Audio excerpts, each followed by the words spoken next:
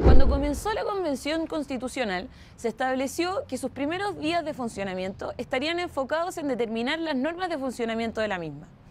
Es por eso que se generaron una serie de comisiones transitorias que estarían destinadas a abordar diferentes temas para poder dar lugar al reglamento de la Convención y así poner en marcha el debate constituyente. Sin embargo, muchas de estas comisiones, más que regular aspectos procedimentales o reglamentarios, apuntaban a cuestiones de fondo, lo que se confirma, de hecho, con los informes propuestos por varias de ellas.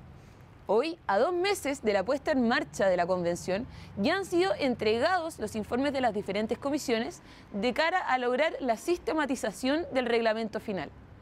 Al respecto, preocupa que varios de estos informes sobrepasan el mandato constituyente de la Convención, ya que anticipan y definen discusiones que deben ser abordadas con la densidad y el tiempo que merecen en la discusión de fondo o porque vulneran derechos y libertades amparados por la Constitución actual y por tratados internacionales ratificados por Chile y que se encuentran vigentes.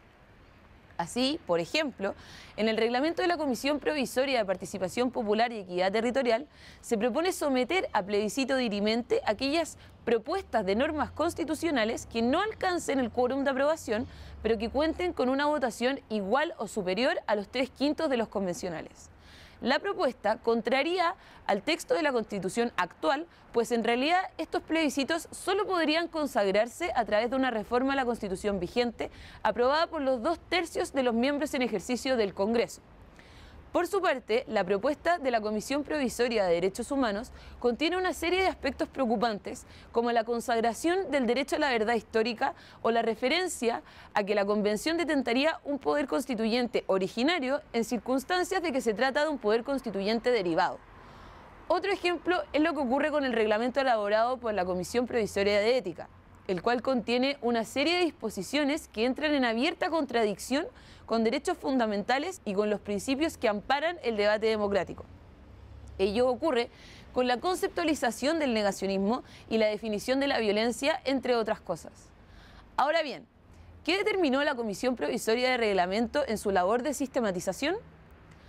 Una vez entregados los informes, se determinó que solamente aquellos correspondientes a la Comisión Provisoria de Comunicaciones y a la de Descentralización deberían refundirse con el de reglamento y que los demás irían como propuestas normativas autónomas que se votarían de forma independiente y que posteriormente se incorporarían al reglamento general de la Convención. El mecanismo para votar dichos textos sería, en primer lugar, una votación general para posteriormente poder formular indicaciones a los textos aprobados y proceder a la votación en particular de los mismos.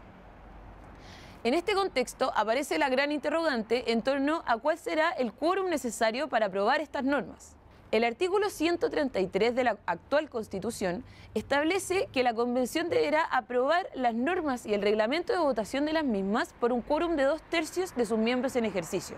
Y la votación en conjunto de las propuestas de normas reglamentarias abre camino a que se aprobasen por mayoría absoluta disposiciones que por mandato constitucional debían ser aprobadas por dos tercios de los convencionales.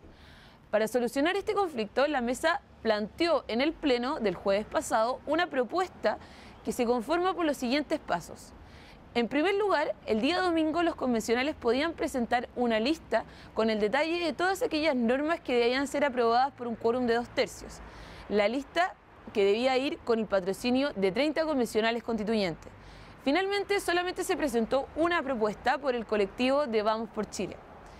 Una vez recibida la correspondiente propuesta, esta será compilada por la Secretaría y enviada a todos los convencionales constituyentes.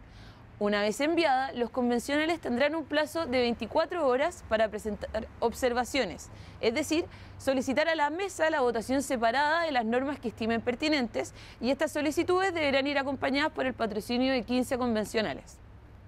Hoy se realizará en el Pleno la votación donde se deberá ratificar por mayoría absoluta la aprobación de dichas normas que requieren una votación y aprobación con un quórum de dos tercios. Si bien esto termina retrasando el cronograma de la Convención Constitucional y con ello el debate de los temas de fondo, se plantea como una oportunidad para poder hacer cumplir el mandato impuesto por el artículo 133 de la Constitución.